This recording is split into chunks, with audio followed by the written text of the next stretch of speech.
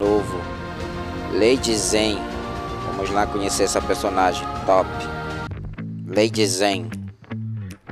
Lady Zen é uma maga poderosa com habilidades de controle de grupo e uma boa capacidade de causar pressão. Top. Vamos conhecer ainda mais dela.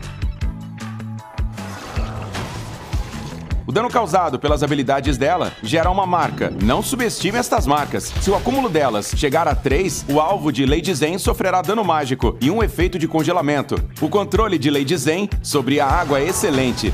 Ela pode invocar um pilar de água para causar um forte impacto. Os inimigos atingidos pelo pilar não só serão feridos, mas também serão lançados ao ar. Além de invocar pilares de água, Lady Zen também é capaz de lançar poderosos jatos de água que ricocheteiam entre os inimigos até seis vezes enquanto causam dano. Lady Zen libera o espírito da água, repelindo tropas inimigas em seu caminho. Ao atingir um herói inimigo ou no fim de seu trajeto, são formadas poças de água que causam dano ao longo do tempo e reduzem a velocidade de movimento dos alvos. O efeito de ricochete da habilidade 2 da Lady Zen a torna uma boa heroína para se usar na selva. Quanto mais inimigos houverem em proximidade uns dos outros, mais fácil será para ela aplicar suas marcas e efeito de congelamento.